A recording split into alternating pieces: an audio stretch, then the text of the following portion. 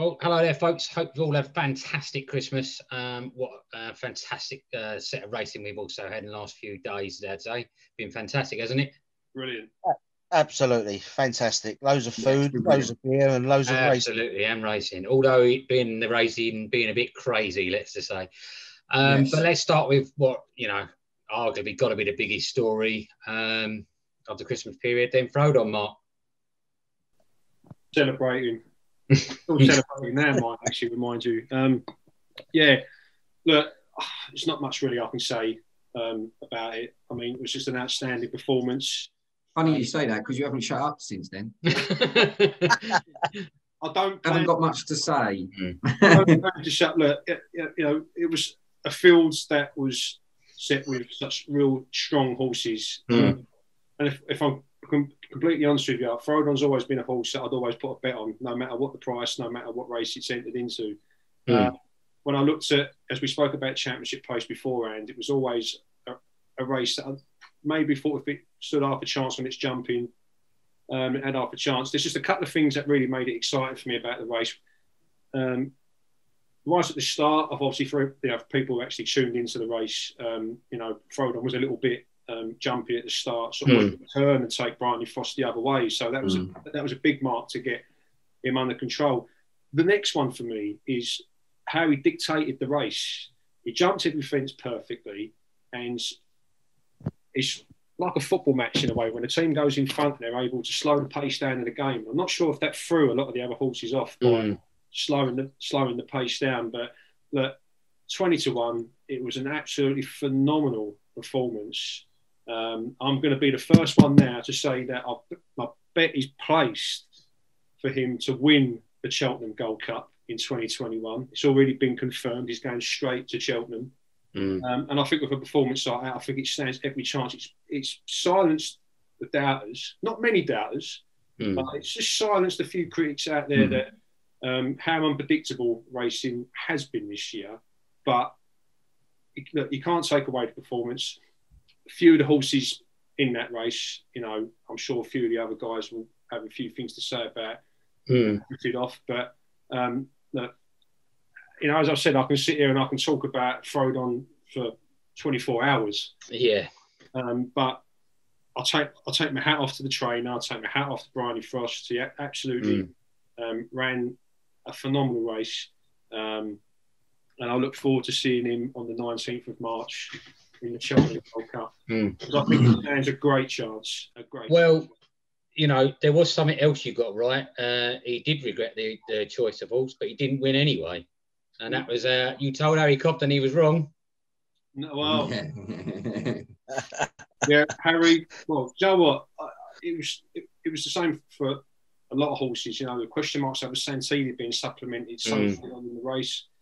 Lost in translation. Um, the clash between um, Clan Des Obeaux, which I think done really really well to get third. Mm. Um, the one horse that I do take my hat off to, I think Hmm. congratulations to Ruth Jefferson and waiting Mm. patiently. I thought that was a really good run to finish second. Um, Cyrname, I don't know. Santini's just not made for three miles. I'm getting that one out there now. I'm, I'm sure I'm going to get ridiculed for that. Um, but again, um, Well, it comes back to what Sean said once again before. We've seen uh, Santini come into a race where a lot of people liked him and, and hasn't delivered again. It happens every time, doesn't it? It- it- Mm. I don't understand it with that horse. There, there's got to be something, obviously. There's got to be something with that horse Mm. because it's a very much Marmite horse, isn't it? It Mm. splits the Yeah. whole of the racing world down the middle. It's not like it's a Yeah, yeah. small minority that like the horse and a larger that don't. It's actually it's, it's quite even when you look at it. There are a Mm. lot of Santini supporters. Yeah, yeah, yeah, yeah. You were, and, and there are a lot of horses that you you follow Mm. and you, for some reason they never get there and you keep following it. You know, there's this horse that always crops up and you go, oh, I'll back that because I know it's let me down 16 times before, but this one time He won't, he's yeah. going to turn it around. Yeah, yeah. But Santini, that, that, there must be frustration because the, the fans of this horse, because it's not a bad horse by any means, the fans of this horse must be so wound up by it Yeah. because it was disappointing. There wasn't excuses. There's, I mean, they're going to come out with excuses for most horses. I'm sure there was one for Cyrname. I'm sure there was one for plans, even though he did run on fantastically. Mm. I'm, I'm sure there's one for lost in translation. You know, Mm. Over the next couple of days, we're going to hear reasons why. We can't disprove it. Mm. You know, Yeah. we, we can't. Um, it's the same with Altior. That, that thing is a beast. We know that's a beast. Mm. Is it more a case of a past tense was as opposed to still is? Yeah. Right? That's not that's that's you know you can't argue what that horse has done. It's demolished. I mean, we've been there, Glenn, and Yeah, seen yeah. firsthand how great Altior is. Sorry to Oh move yeah, yeah. the road on on that, but Altior is I'll never forget watching him race against Un de Sceaux at uh, Sandown. Yeah, one of the conditions. best spectacles I've ever seen. Is watching that horse run a, a, Mm. a whole field into submission. Yeah, Um, But there comes a point Mm. where the young pretenders come in. Okay, no one saw it from Nube Negra, Mm. um, but yeah, yeah. Nube Negra, you could see three out, he was winning. That's how good he was running. Yeah. Hmm. Right, three out, right? Yeah, he was had all over beaten out, yeah, he had already beaten out for three out. Fair play to Altior because Nico even said that he was he was working a long way out. You can't Hmm. argue this horse's ability and will to want to win. Hmm. But will to win will only get you so far. Mm, yeah, yeah, yeah, yeah. Right? One like Right, and- about Altior, sorry, is that you look at other horses that was in that race, Rouge Vif, who had a dominating performance not so Yeah. long ago, and Altior managed to finish a good 20 lengths ahead of Rouge Vif. And, Yeah, that's and we Look, talk like I say, I take nothing away from Altior the horse. Like I say, probably since I've been watching racing, other than Hurricane Flyer I've seen and Faugheen and likes of that, Altior is one of the greatest live spectacles you can watch. yeah. When he jumps a fence, or even when he's off the bit for a way out, and you think, "Oh, I've got nothing, and then all of a sudden he's back on the bit, Mm. and he's he's winning going away. I'm. It just has to come. I don't think retirement is fair. I don't No, think there are just that next. I've, you know, I mean, it's a bit too premature, isn't it? Oh, come on. Horses are allowed a day off. He hasn't run Yeah, yeah, for 10 months or however, however long it be. Mm. Give it a chance. Again, yeah, absolutely. there's yeah. stories now coming out because obviously um, Henderson's in the yard um, for a couple of weeks. Mm. Whether that's anything to do with it, I don't know. But again, these are theories you can't disprove. Us as the general public, we are privy. I think the reaction as well said it all yesterday um, when, uh, you know, Nicky Henderson said that he'd spoken to Nico de Boinville and they both said, you know, we're so glad we never ran him at Sandown. Mm. You know, he's won, you know, in his last 22 runs, he's won 20 of them. And like you say, there comes a time when, you know, a horse can't win every race No, no, no, of course not. you know, we can talk about Altior all the time long, but we can talk about other up and coming horses as we always talk about, like Yeah. and Boursois, who also had um, a great performance. yeah, yeah. What, yeah, Jamie, what your highlight over the festive? Uh, the highlight was I thought Shishkin Sprinter Sacre Mark II. Um, he's I thought he was impressive. Mm. Um, I, you see I, champion thought, chase. I think a Arkle. champion place. I think definitely. Um, or he could, or he could go Ar- Could he go Arkle as well? I thought it could go Arkle. I think he could go Arkle. I think, and then if he could does, go- he wins that, doesn't he? Yeah, and I think after that, he'll. co- I would imagine after that, you're looking at 2022. You could see him going to Queen Mother Chase after that. Yeah. Um, but he's you've always said, haven't you? Sorry, Jay, you've always said about um, Shishkin that like you Oh. see that new Sprinter Sacre in it. Yeah, oh yeah. And You that's that's with- That's that. You know, that's that's you know that's brilliant because you could see the pace, the way he was running towards the fence and jumping so quick, where he was just jumping from A to B, and even um, today with uh, Mick Fitzgerald, he said he was like three seconds up on the Altior race with uh, Nubra yeah. um, on him, so you could tell he's got pace. So he can he could.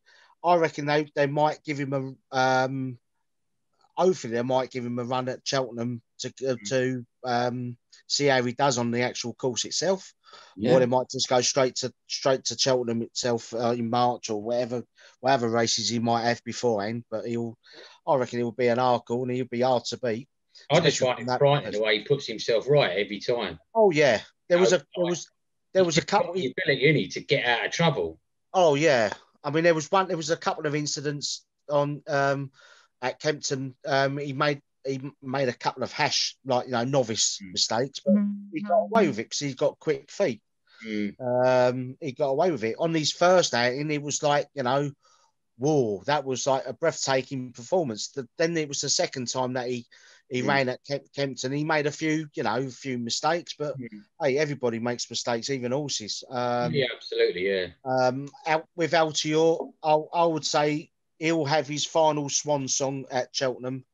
Mm. Um, there were there is there is a bit of cloud over with with uh, with Henderson, and with and we've actually us three have seen Altior in the stable in the flesh and bone, and he's a massive. You can tell like he's got everything equipped for him to, to, to jump as uh, as a for a fence horse, um, jumping over fences. Um, I think there's quite a lot on social media. I think there's quite a lot of um, anti Henderson because once that um, that message was put out this morning, and then everybody was going another excuse, another excuse, another excuse. Well, like I excuse. say, it wasn't just Yeah, and I was just going, I just, and I just thought, for God's sake, Hmm. look, that every trainer, every stable, if it's flat, um, flat, national one, they're going to get a few, you know, Yeah. uh, bugs in their in their Of course they are, and uh, it doesn't help. Obviously, that Epatante as well didn't perform, No. but but to be fair, she just didn't seem at the races and still come No, second, definitely flat in the third last. Let's be honest with you, all that has done, she'll drift out in the price a little bit Or he for was. Cheltenham for the champion hurdle and make make her backable. Uh, yeah, yeah. Because I don't I don't think that's anything to read into that. I wouldn't read into that. No. mate. Uh, Sean, Uh, that, is, that is the absolute problem. When Altior didn't win, there's criticism. Um, you know, when Epatante, which went off at a massive price, I think it was one to four, I believe. Mm. Mm. Okay, you can't take away Silver Streak's win in No. that, but there's no nothing negative towards that. No. It's Look, no, no, all no, it is, yeah. Look, look, let's be honest with you. We all know how social media works. We all know how the internet works. After every race, everybody becomes a veterinarian, a jockey, a trainer, and an Yeah. owner. Right? And a handicapper. Yeah, and a handicapper. It's like when anything goes on, everyone becomes a politician, everyone's a football player, everyone's like we know how social media works, and everyone's Yeah. Oh, yeah. two pence worth. But that is the beauty of it, that everyone's allowed their two pence. I mean, you back- just have to take. Go on, Jay. I mean, back back to Silver Streak, that was really good because that was he needed that grade one behind him. He needed that. He wanted that one. Um, that was good to see, even Exactly. with Evan Williams. That's a Yeah. that's a flag bearer for Evan Williams. You'll see him at the Champion Hurdle, even though he's gonna, you know, if he comes second, third, or even win it, you know, that'll Yeah. be a great. Uh, I a have to be honest, I would have appreciated that win to come on the two times that I did back him. Yeah, that's what I mean, Um, though. But like, like you say, that's that's not discredited Epatante. I mean, when they went back through the race, if you listen to what Ruby said, was from the first fence, she didn't want to. She didn't want to be there almost. Mm. Um, so there we go. She didn't want to be at the races. Animals like humans have off days. It's that simple. Exactly. Um, unfortunately, everyone pipes up and thinks they know best, um, and it it is what it is. That's what the internet and social media is great for. Um, yeah, yeah. But saying that on that point of view, Hmm. saying that from that point of view, she probably she'll go to the champion hurdle. She'll get the allowance, and can you still see anything beating her up the hill? no. There we go. So all it's done is he's made it for us. A round circle that you answer your questions. Yeah, for us, it's made her. It's made her backable. Sean, Oh yeah, Sean, you talk about people who think they know everything. The first two races on Boxing Day, the first race was 125 to one winner. Then at another course, there was 100 to one winner. Now, you I mean, it's nonsense. But anyway, Yeah, and by the way, anyway, just quickly because I know Glenn's going to want to get onto the selections. I, have, Uh, I want to mention one thing, but go on. I just want to mention Chacun Pour Soi. I thought was fantastic. Chacun Pour Soi and Appreciate over in Ireland. Mm. Um, I, I thought were fantastic, and they'll do. They're they're, they're Cheltenham Festival winners, yeah. mate. But go on, Glenn. Sorry, mate. While, while, whilst you're mentioning Ireland, I, I, I was once again very impressed with that Zanahiyr again. Yeah, oh yeah, One with anything in hand. Literally, Elliot, yeah, absolutely. you know, all right, you know, Jack Jack sort of yeah, was a bit of a steering job, which we probably all knew, in all honesty. Um, but yeah, um, again, just when he needed to, just went, come on, we need to win this now, and off they trotted.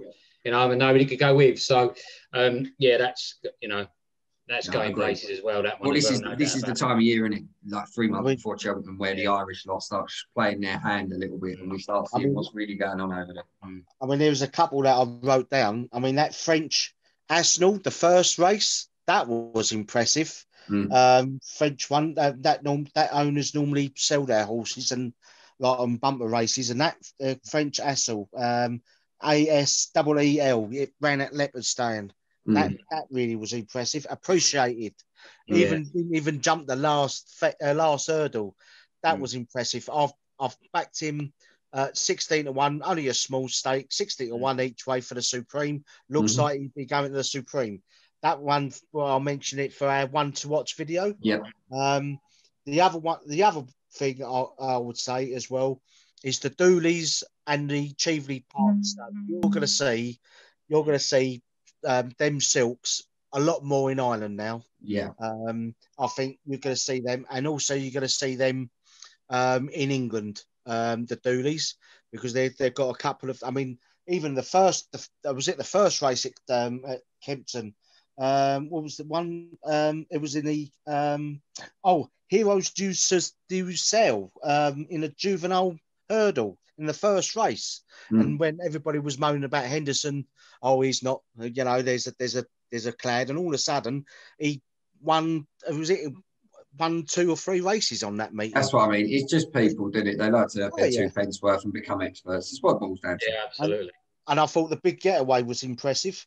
That was that was really good today, and the and the Savile chase, well, that was absolutely, you know, Yeah, I thought good, Med, I thought Medon was going to win it, and then it just you know, on, I hoping Mellon was going to win it.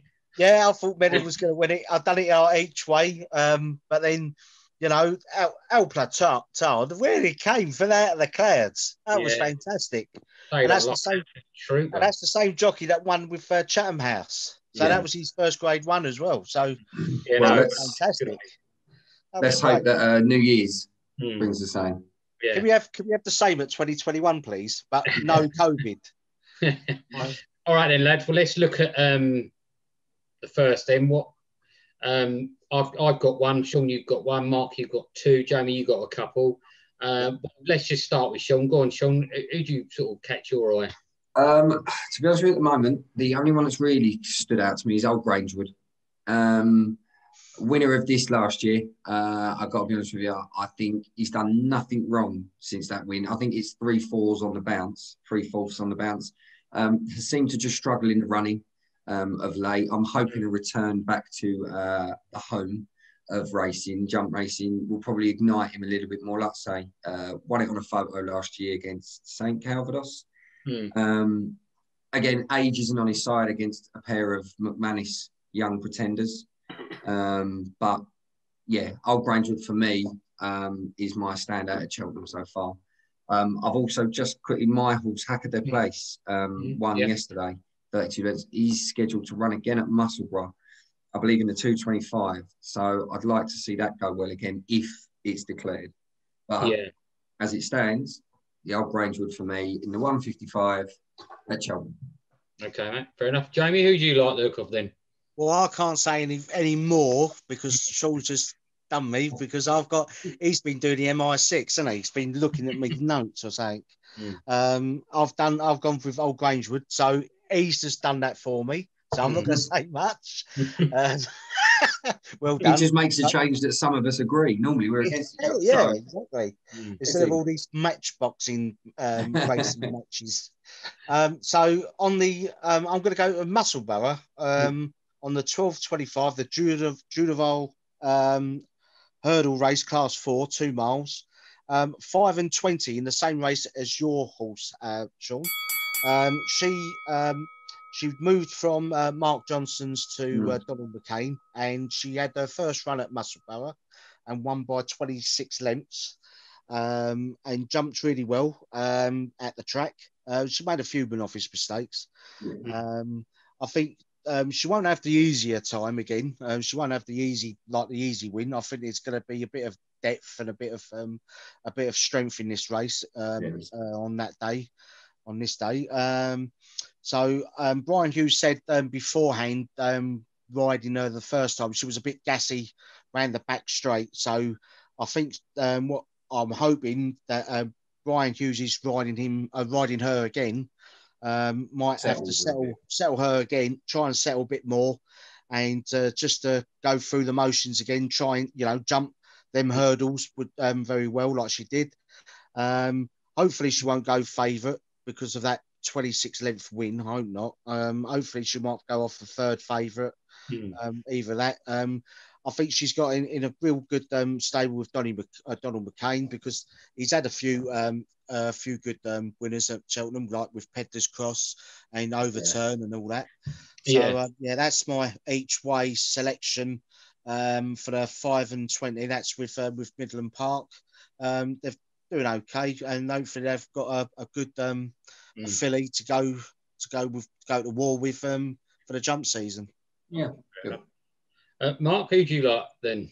Well, I was thinking about changing one and going for musical slave in the 155, just to have a bit of a battle with these two. but I thought I'll leave it and I'll stick with my two selections. But I'm going, first of all, got one in the 120. Um, I think it's a quite uh, lovely name for this race. Paddy Power, Goodbye 2020. Hello 2021 million knots Yeah. chase. Class 1, Grade 2.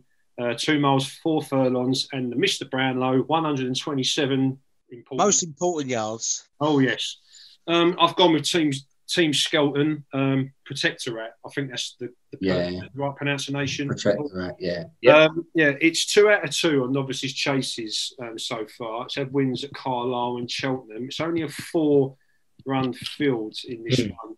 Um, Ollie Murphy's the Wolf. Um, Philip Hobbs is Sporting John. But the main danger for me in this one is Nick Mitchell's Lieutenant Rocco, who had an impressive second at Cheltenham to the winner Fusil Raffles and finished ahead of Chantry House. Um, but I'm sticking with Team Skelton. I think they're hitting form at the right time. Um, heavy ground is expected at Cheltenham, especially with the weather forecast, but it has had two impressive seconds on heavy grounds, um, both being at Sandown. Um, it's set to be three pound higher than its last outing, but I shouldn't think that would be a problem. No. Um, So that is my first selection. Um, odds for that horse is currently not out yet. The second one, I'm going over to Musselburgh, the 210, the Betway Hominau handicap hurdle, I believe it is. Um, one mile, seven furlongs, and the important 124 yards. Currently good to soft. I was toying between two of the Paul Nicholls entered horses, but I've gone with the 9 to 2 joint favourite Miranda. Um, I- was toying between that one or Friend or Foe, um, which both of them have got quite interesting form. Um, Miranda's four out of seven over hurdles in his career, winning two, um, and finished third in its last three outings. His last one being an impressive win uh, at Ludlow back at the beginning of December. Um, it is due to get a seven pound rise though in this race. Um, its last run back at Musselburgh um, finished third with Bryony Frost on board. Um, but again, as we say with Team Skelton and Paul Nicholls, both from both yards are hitting form at the right time. I think it's going to be an interesting race, but it's a six-year-old. I think that's open to further improvement. Um, so there, there you go. There's my two selections: um, Team Skelton um, in the 120 at Cheltenham, and uh, Paul Nicholls is in the 210 at Musselburgh. Okay, fair enough. Well, I'm going to keep mine very short, sharp, and sweet because you haven't really left me any time. Um, so let's. Uh, I've not had a, a you know huge news over the cards, uh, but one that does stand out glancing at where you know just before we came uh, on there to film here, um, McFabulous in the Relkeel. Um, it's a very good horse. Cobden's booked again. Um, yeah, they know how to ride that horse, or he knows how to ride that horse, and he know and they know how to find winners. So it's a tough race. You've got Call Me Lord on the blind side, Thomas Darby in there, um, uh, brewing up the storms in there. Um, you know, there's a few in there. So um, you know, there's no foregone conclusion, but um, you know, third last time, but I think you know more than capable of, of, of winning that field by the looks of it, um, and got just as much a chance as any of the others, really. You know, in my opinion. Um, Yeah. I, I, you know, I'm going to back it to, uh, you know, find form again and uh, and get that win. Yeah, so I'll make that's you right my that one. choice, lads. I'll make You you right on think. I think day- he'll bounce back. Uh, If he wins, Glenn, do you reckon he'll um, disturb the stayers hurdle uh, market? Probably, knowing how crazy this year's been, you just don't know, do you, Jamie? That's the problem. You know what I mean? It, I mean, Matt Chapman was earlier on saying, you know, wasn't he, about the um, the stairs? It doesn't seem the top two don't seem to have a lot to fear, but um, Mm. you just it's just hard to tell, isn't it? This year really is, you know, with some of the results we've seen. So anyway, so that that's gonna gonna be my choice. We'll um, we'll save further debate for another day. Um, so yeah, fantastic racing we had, lads. Still more fantastic racing to look forward to before we all have to go back to work. Woo! Or we- Um, but um, enjoy the rest of your uh, Christmas break, lads, and um, keep in touch on WhatsApp. And let's look forward to some more fantastic racing. Indeed, we shall. More later, the guys. merrier. All right. See you Have later. good old.